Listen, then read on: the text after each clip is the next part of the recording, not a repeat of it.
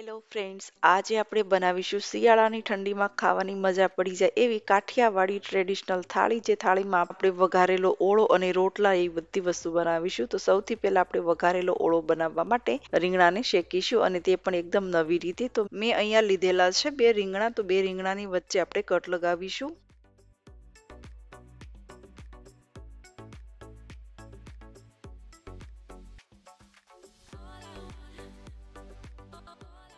અને રીંગણા લાંબી સાઈઝના છે એટલે વચ્ચે પણ કટ લગાવી લઈએ. હવે આપણે આ રીંગણા એર ફ્રાયરમાં શેકવાના છે. જો તમારી પાસે એર ફ્રાયર ન હોય તો ગેસની ઉપર શેકી શકો અને આ એર ફ્રાયરમાં રીંગણા આઠથી દસ મિનિટમાં શેકાઈ જશે અને ગેસ પણ ખરાબ નહીં થાય અને કંઈ પણ ઝંઝટ વગર ફટાફટ રીંગણા શેકાઈ જશે. તો એર ફ્રાયનું ટેમ્પરેચર ફોર હંડ્રેડ પર રાખીશ અને આપણે ટાઈમ રાખીશું પંદરથી વીસ મિનિટ જેટલો. તો કેટલા ટાઈમ પર રીંગણા શેકાશે તે આપણે આગળ જોઈશું. તો નવ મિનિટ જેટલો ટાઈમ વધ્યો હતો, મતલબ અગિયાર મિનિટ જેટલો ટાઈમ થયો હતો આ રીંગણાને શેકવામાં.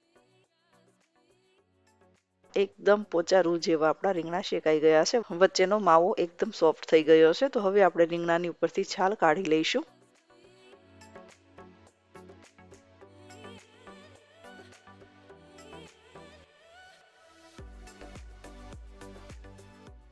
તમે જોયું ને કેટલા સરસ રીંગણા આપણા શેકાઈ ગયા અને તે પણ આપણો ઓળો એકદમ વ્હાઈટ બન્યો. બિલકુલ કાળા નથી પડ્યા અને રીંગણાની ઉપરથી છાલ પણ એકદમ ઇઝીથી નીકળી જશે.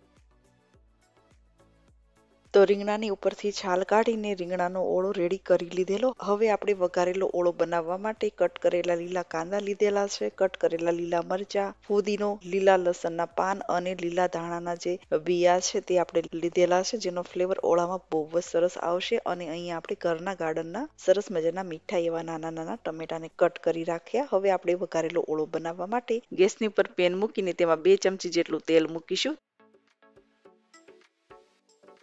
તેલ ગરમ થઈ જાય એટલે એમાં નાખીશું અડધી ચમચી જેટલું જીરું. જીરું નાખીને થોડીક નાખીશું હિંગ. એના પછી સૌથી પહેલા નાખીશું લીલા મરચા. લસણના પાન, ફુદીનાના પાન. અને ઉપરથી નાખીશું અડધા લીલા કટ કરેલા કાંદા. અને થોડાક આપણે વધારીશું અને થોડાક નાખીશું મીઠા લીમડાના પાન.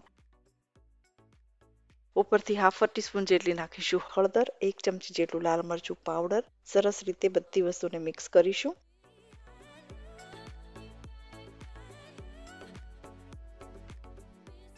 મિક્સ કર્યા પછી નાખીશું કટ કરેલા ટમેટા. ટમેટાને પણ મિક્સ કરી લઈએ. ટમેટા મિક્સ કર્યા પછી સ્વાદ મુજબ નાખીશું મીઠું.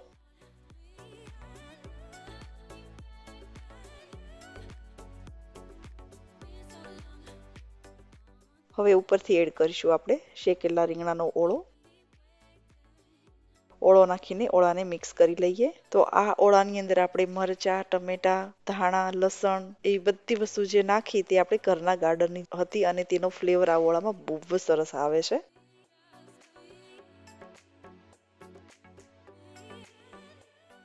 તો ઓળાના માપનું નાખીશું સ્વાદ મુજબ મીઠું, એક ચમચી નાખીશું ધાણા જીરું પાવડર. ધાણા જીરું પાવડર નાખીને ઓળાને મિક્સ કરીને હવે આપણે આ ઓળાને મીડિયમ ફ્લેમ પર એક મિનિટ સુધી ચડવા દઈશું. ચડવાની જરૂર નથી, પણ ઓળાની અંદર બધા મસાલા મિક્સ થઈ જાય એટલા માટે આપણે એક મિનિટ સુધી આ ઓળાને ચડવા દઈએ. એક મિનિટ પછી આપણે જોઈ લઈએ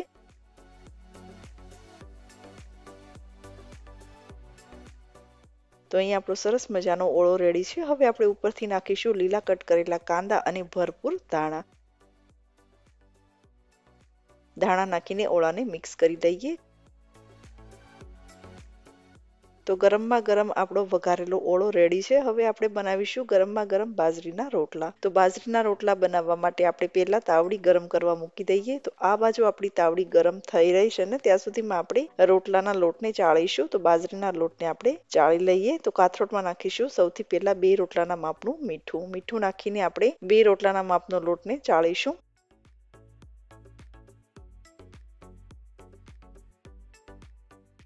તો અહીંયા આપણે બે રોટલાના માપનો લોટને ચાળી લીધો. હવે આપણે થોડું થોડું પાણી નાખતા જઈશું અને લોટને મસળતા જઈશું. જેટલો જાજો લોટને મસળીશું, એટલા જ રોટલા સરસ બનશે. તો લોટને આપણે એકદમ ચીકણો કરી લેવાનો, એટલે આપણા રોટલા સરસ બને અને એટલા જ મીઠા બનશે.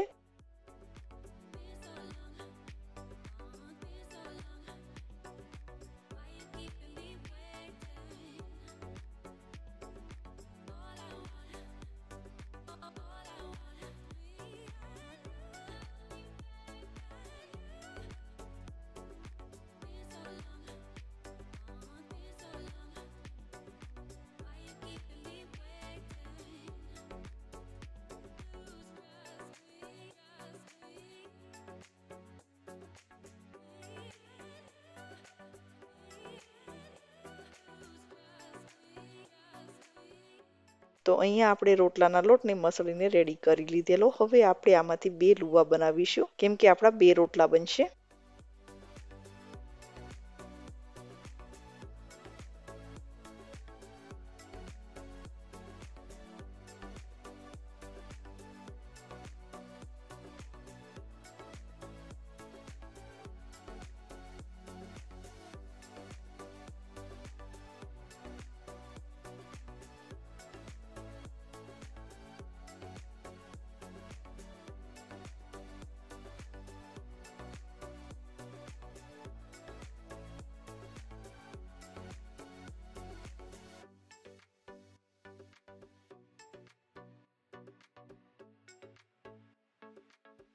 આપણો રોટલો ટીપાઈને રેડી છે. આ બાજુ આપણી તાવડી પણ સરસ મજાની ગરમ થઈ ગઈ છે. હવે આપણે રોટલો તાવડીમાં નાખીશું. અને એક સાઈડ રોટલાને શેકી લઈએ. તો એક સાઈડ આપણો સરસ મજાનો રોટલો શેકાઈ ગયો છે. હવે આપણે રોટલાને ફેરવી લઈએ અને બીજી બાજુ પણ આપણે રોટલાને શેકી લઈએ.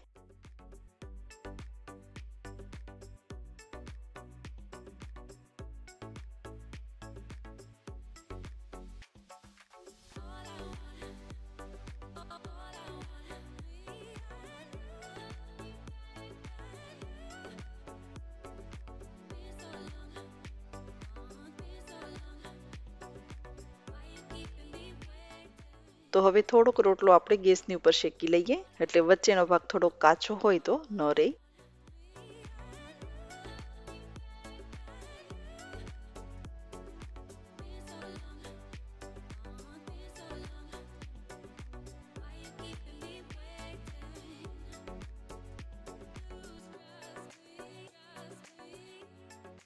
તો અહીંયા આપણો એક રોટલો રેડી છે. હવે રોટલાની ઉપર લગાવીશું ઘી અને આવી જ રીતના આપણો બીજો રોટલો પણ બની ગયો.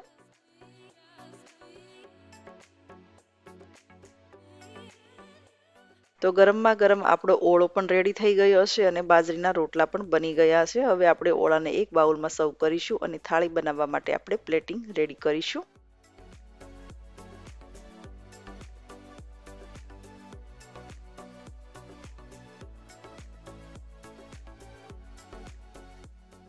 તો જોતા જ મોઢામાં પાણી આવી જાય એવો આપણો ગરમમાં ગરમ ઓળો રેડી છે. આપણે આ બાઉલ એક પ્લેટમાં મૂકીશું. હવે મૂકીશું ગરમમાં ગરમ બાજરીના રોટલા. અને અહીંયા આપણે લીધેલા છે વિનેગરમાં આથેલા ખાટા કાંદા જેને આપણે સિરકાવાલા પ્યાસ કહી શકીએ છીએ હિન્દીમાં. તો આપણે આ હિન્દીમાં રેસીપી અપલોડ કરેલી છે. જો તમને જોઈતી હોય તો તેમની લિંક હું તમને ડિસ્ક્રિપ્શન બોક્સમાં આપી દઈશ. અને અહીંયા આપણે મૂકીશું કાઠિયાવાડી ટ્રેડિશનલ ચીવડાનું અથાણું, જેની રેસીપી પણ આપણે આમાં ગુજરાતી ચેનલમાં અપલોડ કરેલી છે. હવે ઠંડી ઠંડી છાશ પણ સર્વ કરીશું. તો ઠંડીમાં ખાવાની મજા આવે એવી ગરમમાં ગરમ આપણી થાળી રેડી છે. તો ફ્રેન્ડ્સ અગર તમને મારી આ રેસીપી પસંદ આવી તો વિડીયોને લાઇક શેર અને ચેનલ ચેનલને સબસ્ક્રાઈબ પણ કરી શકો છો. તો આપણે આવી રીતના નવા નવા વીડિયો લઈને મળતા રહીશું.